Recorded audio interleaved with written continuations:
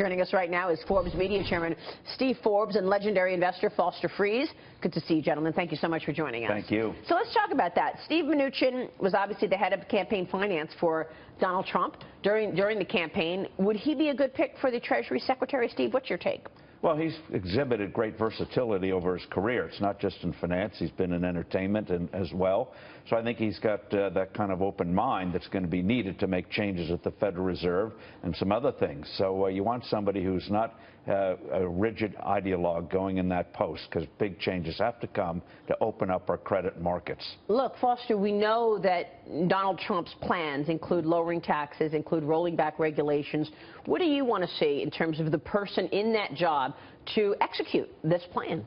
Well, I think anybody has to bring back our country to unify both the left and the right. There's so many things we agree on. Instance, I ran into Van Jones, who wants to arm the Kurds, as an example, and ran into Geraldo Rivera. He wants to arm the Kurds. Everybody wants to arm the Kurds, but it's get blocked by the administration. So now this will be an opportunity for us to have an administration that will do that. And I think in the financial area, we need that same thing. There's just way too much divisiveness in our country. We have to come together. Yesterday, we had Jonathan Gruber on the program, uh, one of the architects of Obamacare. He made what I thought was a stunning statement. He said that there's no evidence that Obamacare uh, is the reason for job losses in business. What do you think about that? Well, it shows he's in the bubble world, which is why President Obama still talks about uh, prosperity being great.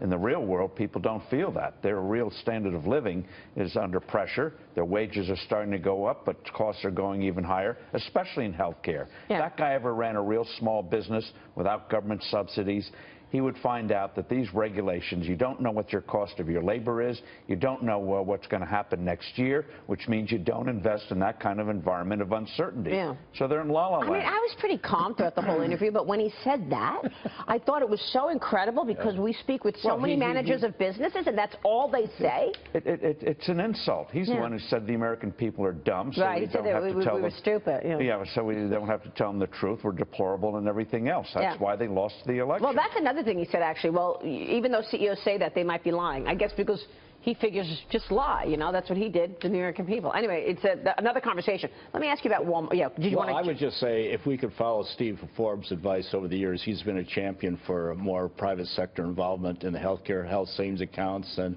uh, he's got the formula as well as his flat tax. I've been a fan of Steve Forbes for so long, and it's an honor to be on the same show with him. Yeah, it is, Steve, and, and, and I agree with that. You had the flat tax idea before anybody was talking about it. So are you liking what you're hearing from Trump, or is he changing his tune when it comes to tax cuts for individuals versus tax cuts for corporations right now? There are a lot of rumors floating yeah, around, I and I think uh, politically they've got to do both. They've got to do business and personal at the same time, or else they're going to get hit hey, business first, people second. Yeah, and, and that's what he charge. campaigned on, so he's yeah. not going to change it now, is and, he? And, I mean, that would be... You, and, and you can put them together, hmm. and uh, Democrats will be more supportive, I think, amazingly, of the business side, although they'll never admit it publicly. But you put them together. You put that together. There's no reason why, Maria, we can't have a comprehensive tax package ready to go January 20th. Get it passed by spring. You do that, you're going to start to see investment flow again, plus repealing Obamacare huge. So you think people will start feeling the impact of lower taxes in 17? Well, as you know, markets anticipate yeah, the future. Yeah, that's true businesses anticipate the future. When they make an investment, it's not just for the next quarter. They're looking at two years, yeah. four years down the road. So if they see that the tax code's going to get more benign, on day one, I think Donald Trump's going to repeal a lot of those executive orders. So it's going to be new regulatory environment. Mm. People are going to say, let's start getting in. As a business guy, would you change your behavior? Would you put new money into investing, into R&D, into hiring people? Absolutely. If your taxes absolutely. were lower and the regulatory right. environment? But, but I wish your Republicans would take the messaging a little more carefully. He says we want to cut taxes to 15%. What I would like them to say, let's take the 38 to 9% highest, third highest rate in the world and bring it more in line with the rest of the world. Russia 25, China 20, uh, Eurozone 24 and a half. It sells a little bit better than just say we're going to cut corporate taxes if you say you're going to bring it in line with the rest of the world. So if, if I would uh, get a post from uh, Trump, I'd like to be involved with messaging, but I haven't been called yet. But if I do get called, I'm going to ask what's the salary and the health benefits. so you're saying really just the way you communicate it is real important. Oh, yes, yeah, it's so sure. important. We, uh, and, and Donald Trump has not I mean, he's now beginning to really understand a more uh, charitable way of communicating, and it's really amazing to see the progress he's made. Look, he'll grow into the job, I suspect. He's never been a politician before.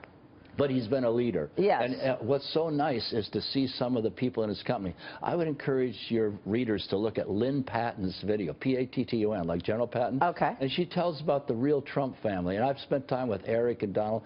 These are beautiful people. My gosh, we're blessed to have the kind of leadership uh, with the whole family now being involved. I think that's why he also was elected and people fell in love with his family. Let me ask you about Walmart. Again, at odds with employees, Steve.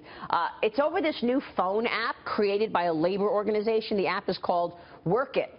It is aimed at educating Walmart employees about workplace rights. However, there is concern over the chat function that allows current and former Walmart employees to answer submitted questions. So, Foster, does Walmart have good reason to discourage workers from using this app? Is this a problem? I don't know if that really gets more intrusive in terms of we ought to allow people to say what they want to say. But in, in Cody, we have this uh, greeter, and the management calls in, Bill, you're the best greeter we've got. You're helpful, you're friendly, but we need to talk. You've been late a lot, and I see you have a military experience in your resume. You weren't late in the military. He said, I really was. So what they said? He said, well, they say, would you like some coffee, Admiral? well, it's hard to clamp down on This guy people should be a chatting. press secretary. That- That's funny. That is funny. What do you think about this app? Any any concern? No, uh, I think it's a, it's a PR black eye. Okay. Uh, you can just pass the word among the people. This is fu- full of junk. They want to hurt you, not help you. Yeah. And instead of looking like you're trying to go against the First Amendment. Well, you know what's and, and, and these agitators always know how to try to set you up. Don't fall into their traps, these PR traps. You know, what's interesting is, you know, uh, you, you worry about the unions and, and what's going on in terms of how they will um, influence employees, but at the same time, everybody thought the unions were for Hillary Clinton. The union guy and gal and the working guy and gal came out for Donald Trump.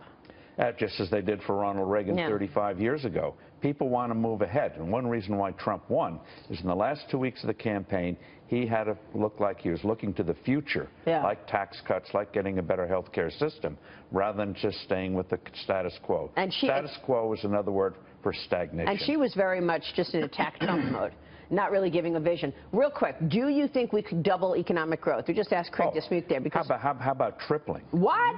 well, look, we've had two so we're at two we- we- now. You we- think we could get to six percent economic growth? to get back to average a couple of years. Yeah, we did it in the 80s. We've done it before. With this kind of stagnation, it's like going 30 miles an hour. We can get up to 60 to 90. Police won't mind. So you think you so you think uh, four percent is doable? What in eighteen sometime or You could do it next year. next year, seventeen? Sure. Wow. Latter part of next year. You Because get the, because you of these the- tax cuts and rollbacks of regs. and, and, and regulations. You don't Hmm. get in a trade war, so we got to uh, be careful on that. Well, that would- But, but, but, you know, with seven years of subpar growth, we should have seven years of uh, above average growth. Wouldn't that be nice? Yeah.